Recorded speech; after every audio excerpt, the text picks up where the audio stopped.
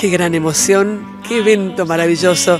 Hemos pasado tantos momentos difíciles en la vida con nuestro cáncer de mama que esto es un, es un mimo al alma, es un mimo al corazón. Gracias, gracias Tigre, gracias Honorable Consejo Deliberante, gracias a todos los que pusieron lo mejor para que sea un evento increíble y maravilloso como el que está, el que está transcurriendo ahora.